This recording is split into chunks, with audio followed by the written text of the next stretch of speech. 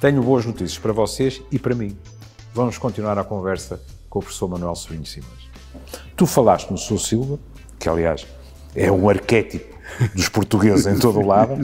e o que é que o Sou Silva, ao longo da vida, pode fazer? Porque agora podemos ficar com a sensação de, bom, mas se isto leva 30 ou 40 anos e eu vou ter um cancro aos 50 e tal, não posso fazer nada porque aos 15 ou aos 20 já estava.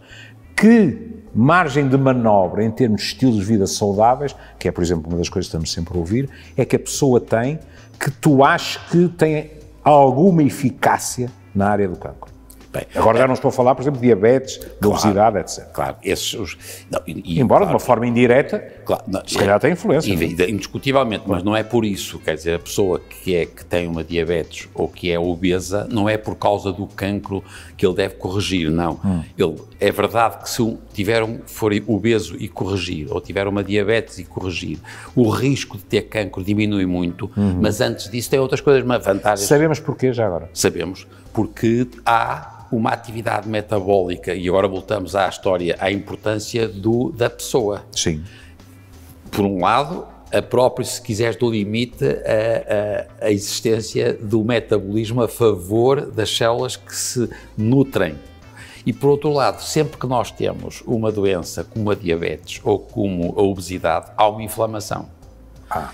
As pessoas têm, não têm essa ideia. O que mantém as coisas sempre no sentido de dar para, para torto é a inflamação crónica. E um tipo gordo tem um estado permanente de inflamação crónica. É por isso que muitas vezes eu te ouço dizer, ai, querem viver mais e tal e tal e emagreçam? Claro. Pronto. Bem, do, nós, do, nós dois não somos o, não, o não, exemplo eu, não, para eu, isso. Obrigado, obrigado. mas, um mas então explica-nos então isso. Não, mas agora repara, portanto, hum. tu estavas a dizer isso, é verdade. Portanto, uma pessoa, qualquer pessoa sabe que se for muito obesa, hum. se for diabético, é evidente que se a pessoa tiver a pouca sorte de ser um fumador, até, o risco é muito grande. Mas repara, a primeira coisa que eu penso que as pessoas devem pensar sempre é se vêm de alguma família em que haja um risco grande de cancro e de que tipo de cancro. Uhum. Não é dizer assim, ah, a minha velhinha senhora que tinha 80 anos teve um cancro do intestino, é naturalíssimo. Toda a, uhum. gente, pode, toda a gente pode acontecer. Se dei. Agora, se era um fumador e tinha um cancro do pulmão quando tinha 60 anos, tudo bem. Mas há situações uhum. ou familiares, do ponto de vista uh, repetição de certos cancros da mama ou da próstata, por exemplo, uhum. ou da tiroide, ou em cancros em crianças sempre que a pessoa tem um cancro numa criança, que de resto nós tratamos hoje muito bem e é, a sobrevida é muito boa. Foi das áreas em que se avançou mais. É? E uma extraordinária evolução. Mas aí há um elemento genético. Portanto, a primeira pessoa que hum. sabe que tem esta história deve saber e, portanto, tem alguma atenção. E, por exemplo, se for uma família de doentes que têm cancro da próstata, avô e pai, o rapaz sabe que deve começar mais cedo a, a fazer. A ser vigiado. É? Claro. Uhum. Portanto, é uma atitude de bom senso. Qual é a outra coisa que a pessoa tem que fazer? A pessoa tem que evitar toda e qualquer agressão disparatada. Quer dizer, isto agora é sempre a mesma coisa. É exposição ao sol, quer dizer, são coisas de bom senso. Uhum. É evidente que a pessoa não pode permanentemente estar a, a beber demais não pode, a pessoa tem que ter muito cuidado com as substâncias que hoje em dia estamos a utilizar, quer na alimentação, quer em tratamentos, porque algumas coisas fazem bem a umas coisas fazem mal a outras e, portanto, há um, uhum. um conjunto. E depois há outra coisa que é, é, agora é específico. Se tu estás a pensar em termos da pele e se a pessoa tem uma pele muito, muito clarinha, Epá, além de ter cuidado de não estar a, a apanhar sol a horas disparatadas, tem que estar com atenção se tem algum sinal. Hum. E agora voltamos àquelas coisas dos sinais. E é fazer com alguma frequência a colonoscopia, ou no caso das mama, da mama, as senhoras fazerem o estudo de, da mamografia, uhum. ou o, o Papa Nicolau. Portanto, em relação, mas agora não há muitas, não há muitas situações onde haja agora, uma agora, lógica. Agora resisti a uma piada fácil, que era corrigir e dizer Nicolau, não, Francisco, Francisco, mas enfim. claro, está bem. Sim, mas pronto, o, o velho Papa Nicolau claro. continua a ser perfeitamente adequado. Não, exatamente. E hoje em dia há quem faça, não por citologia, com estudo molecular, mas é a mesma coisa. Uhum. E é verdade que nós estávamos a, a, morrer muita gente em Portugal com cancro do colo do útero e diminuiu brutalmente. Mas é uma, uma melhoria espantosa. E começamos a ter também melhorias na, nos cancros associados à infecção.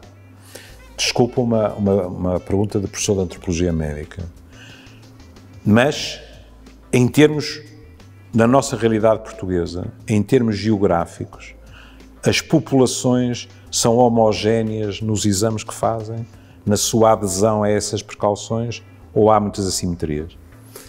Não, não, sei assim, não sei com segurança. Sei que há muita diferença, por exemplo, nós no, no Alentejo temos muito cancro da pele e sabemos que uh, o apoio no Alentejo, por razões de, de, de, de alguma pobreza, etc., uhum.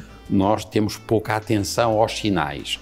E, e o melanoma, que é um, o cancro da pele, podia ser melhorado claro. e há, portanto, assimetrias. Nós temos esta ideia que é clássica, que no norte há mais cancro do estômago e associamos ao tipo de, ao, ao, sal e aos enchidos. Não sei se é verdade, o que eu sei é que nós temos, apesar de tudo em Portugal, globalmente muito mais cancro do estômago que o resto da Europa. Se eu for comparar Portugal com a Europa dos nossos, do nosso mundo, eu não sei o que se passa na, na Rússia e tal, mas nos países ocidentais, a única coisa que nos distingue dos outros países ocidentais é ainda uma elevada, uma elevada taxa de cancro do estômago. Mas que Estamos, por exemplo, a meio caminho com os japoneses? Já temos menos, portanto, vou dizer, como é que eu vou dizer, já temos muito menos morte no Japão do que nós. Palavra? Pois. Porquê? Porque eles fizeram diagnósticos precoces ah. com gastrectomia.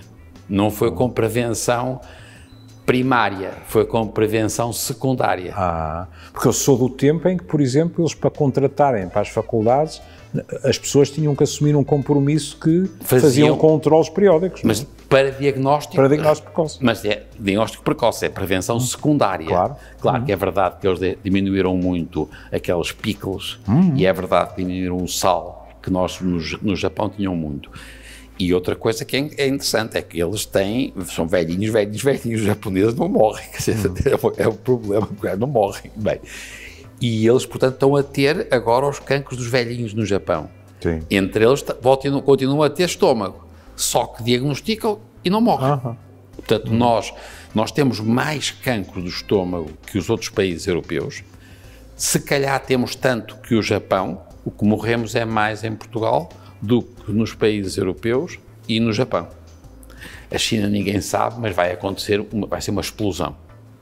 Bem, eu, eu agora, se calhar vou ser politicamente incorreto, não é a única coisa que sabemos pouco na China, não é? claro, é? Portanto, mas aqui, porque é que no cancro também devíamos estar assim tão mais bem informados? Não, não, é? eu por acaso estudei muito um país, uma, uma região do, do país, num país que é, é, é China, posso dizer, e eles têm muito cancro do esófago também. Uhum. E aí era pelo tabaco e pelo, e pelo uh, tabaco e, e, álcool, um álcool ordinário. E era de tal maneira que a gente arranjou um processo com os noruegueses em que eles, engoliam uma bola de, com a, de, arame, de arame uhum. e depois a gente puxava e vinha as células e fazia o diagnóstico de cancro nas células do revestimento presumo com alguma forma de anestesia, não? Não. A frio? Assim. Isso fizemos não é uma isso, forma de colonialismo. Mas fizemos, fizemos isso na transição do, do, do, século. Mas é, portanto, o que é impressionante, lá está, é eu de repente defrontei o problema da China por causa dos noruegueses e o nosso foi, a nossa coisa foi demonstrar que aquilo havia muito e não havia como aquilo, eles engoliam, puxava-se e traz, fazia-se o diagnóstico. Acredito, estou horrorizado, mas acredito.